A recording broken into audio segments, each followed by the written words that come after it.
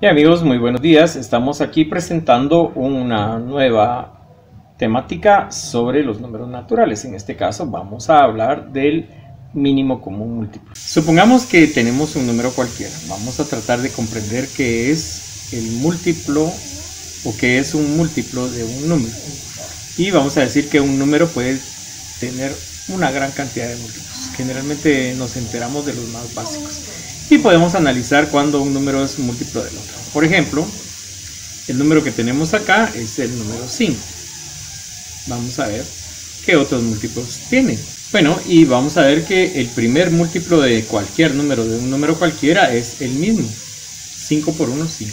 Es decir, que este múltiplo que está aquí en rojo contiene a este número, esta cantidad, está en rojo, contiene a este número una sola vez. Ahora tenemos otros múltiplos. Vamos a ver, por ejemplo, el múltiplo 10.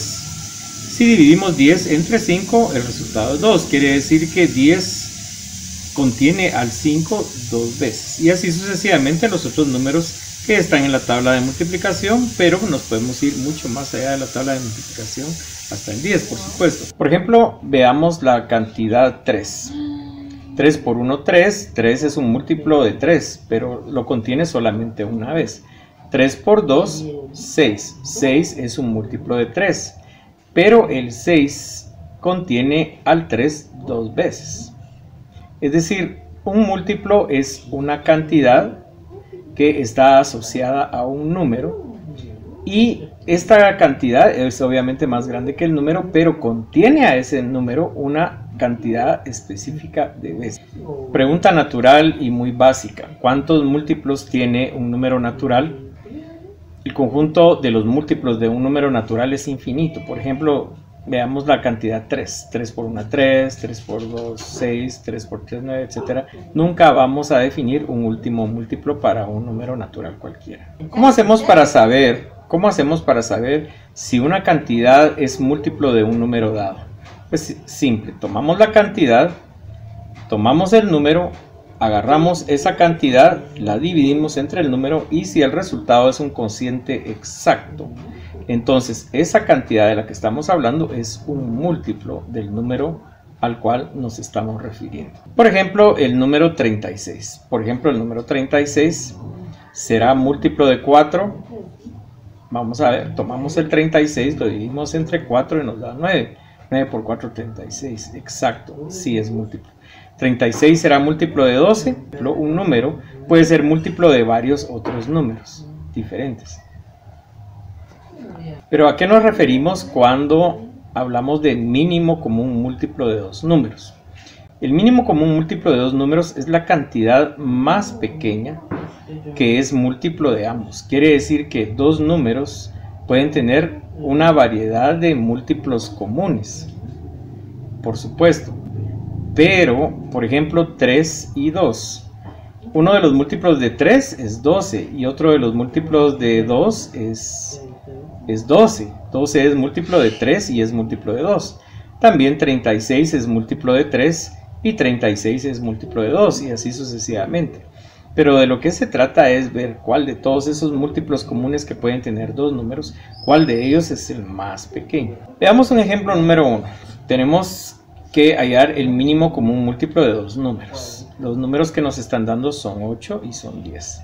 Bueno, elaboremos la tabla del 8 del 1 al 10, por ejemplo, 8 por 1 8 por 2, 8 por 3, 8 por 4, y el 10 tomémoslo también y elaboremos su tabla, 10 por 1, 10 por 2, 10 por 3 y así sucesivamente. Entonces, ahora cuando miremos las dos tablas de multiplicación de los dos números y comparemos, vamos a ver que hay una cantidad que tienen en común, es decir, hay un múltiplo que es común y ese es el 40. 40 se puede dividir exactamente entre 8 y 40 se puede dividir exactamente entre 10. Y, de todos los múltiplos que tienen ambos números, este es el más pequeño. Tenemos otro siguiente ejemplo, por ejemplo tenemos los números 15 y 10. Igual elaboramos la tabla del 15, 15 por 1, 2 por 2, por 3, por 4, hasta 10, digámosle. También tenemos el 10 y elaboramos su tabla 10 por 1, por 2, por 3, por 4, etcétera, etcétera. Bien, ahora observemos ambas tablas y vamos a ver que 15 por 2 es 30. Es decir, 30 es un múltiplo de 15. Vamos a ver que 10 por 3 es 30. 30 es múltiplo de 10. Y vamos a ver pues que es un múltiplo común, que esta cantidad es múltiplo al mismo tiempo de 15 y al mismo tiempo de 10. Entonces, la solución por medio de tablas de multiplicación es una solución primaria, es una solución básica, pero no siempre es lo conveniente de hacer debido a que tendríamos que tener una, una tabla de multiplicación completa para cada uno de los números del problema. Por ejemplo, todavía podemos hacer con las tablas de multiplicación del 1 al 10 eh, eh, extraer el mínimo como un múltiplo de tres números, por ejemplo 15, 12 y 20. Tenemos la tabla de multiplicación del 15 de 15 por 1 hasta el 10, luego 15 por 11, 15 por hasta llegar al 20, por ejemplo. igual la tabla del 12, la tabla del 20.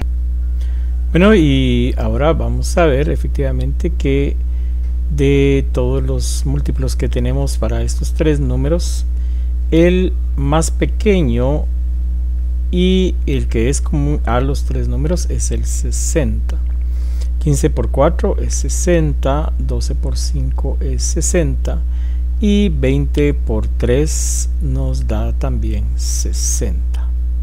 Bien, vamos a mostrar este mismo cálculo del mínimo común múltiplo para los números 15, 12 y 20 por medio del método de los árboles. Lo primero que hacemos es calcular el árbol de factores primos para cada uno de los números. Entonces vamos a observar que 15 tiene factores 3 y 5, 12 tiene factores 2 por 2 y 3 y 20 tiene factores 2 por 2 y 5. Y observemos y prestemos atención a estos factores. El factor 2 por 2 también es el factor 4. En consecuencia, prestemos atención cómo vamos a calcular estos factores para obtener el mínimo común múltiplo. Bien, entonces los factores que vamos a tomar son el factor 3, el 5 y el factor 2 por 2 que en realidad es el factor 4.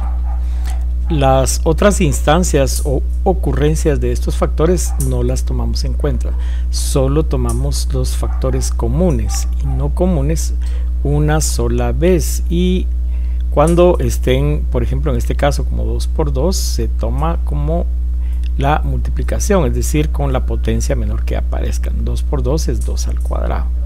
Y acá en el lado derecho aparece repetido, entonces solo se toma una sola vez.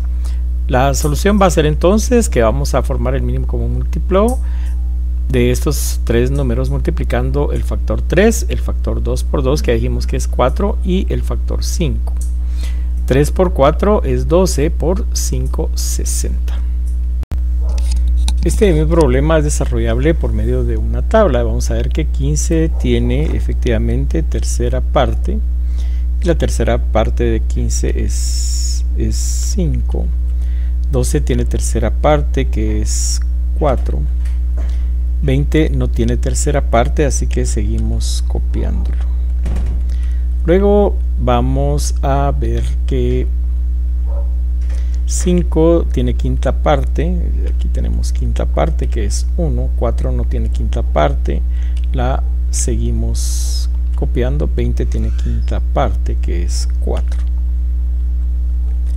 Luego vamos a observar que 4 tiene mitad, que es 2, y 4 tiene mitad, que es 2. Y ahora vamos a ver que 2 tiene mitad, vuelve a tener mitad que es 1 y el otro 2 vuelve a tener mitad que es 1 bueno y entonces la consecuencia de multiplicar estos cuatro números 3 por 5 por 2 por 2 nos da 60 y esto es el mínimo común múltiplo. Este es otro método para encontrar el mínimo común múltiplo